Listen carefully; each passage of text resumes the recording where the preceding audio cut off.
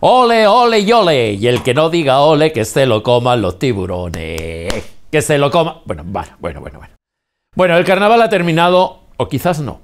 Porque aún quedan personajes que no se quitan el disfraz en todo el año. Pero como decíamos, el carnaval ya terminó.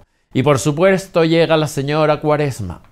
Aunque según vimos el otro día en la Nogalera, parecía que se había adelantado mezclándose civilinamente entre los participantes disfrazados, que por otro lado es de agradecer que volviese al centro el carnaval, de donde nunca debiera de haber salido, ya que donde se hacía auditorio para los niños y palacio de congresos para los mayores no era el sitio adecuado y quedaba bastante lejos.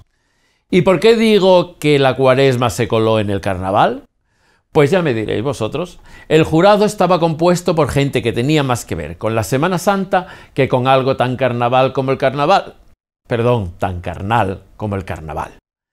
Es decir, allí teníamos cofradías, belenistas, etcétera, etcétera, pero la gente que realmente vive el carnaval no tenía ningún representante, creí entender.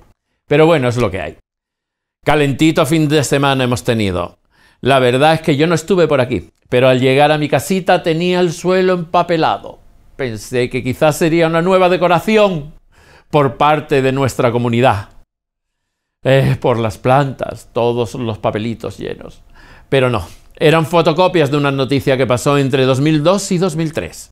Llegan las elecciones, pero desde mi punto de vista es una forma un tanto sucia, empapelar torremolinos y utilizar los medios públicos para una cuestión resuelta, ya ocurrida hace 11 años, y que trata de una cuestión personal entre dos, y en la cual pienso, es mi humilde pensamiento, que el consistorio no debe gastar ni los recursos económicos ni los de personal para atacar a determinados partidos políticos de la oposición.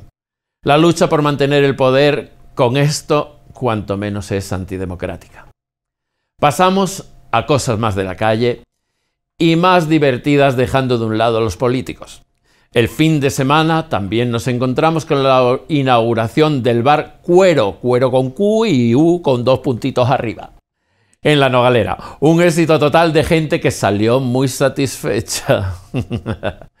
Según me cuentan. Así que tendré que pasarme a saludar y comprobarlo. Enhorabuena, hay que seguir abriendo negocios exitosos y darle color a nuestra City. Vamos a volvernos también más internacionales.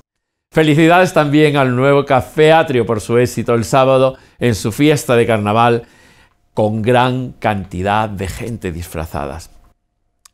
Con tantas buenas noticias, se me terminarán saltando las lágrimas.